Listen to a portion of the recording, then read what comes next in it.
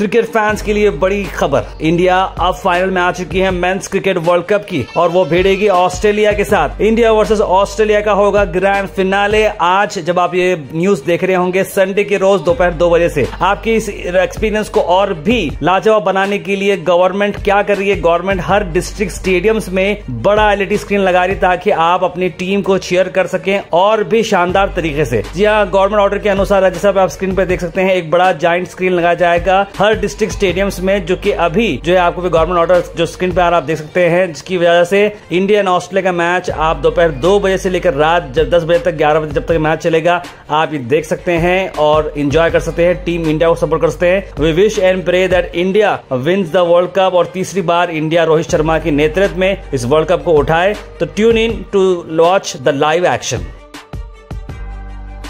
Thank you for watching Go Hash. Like, share, and subscribe our channel.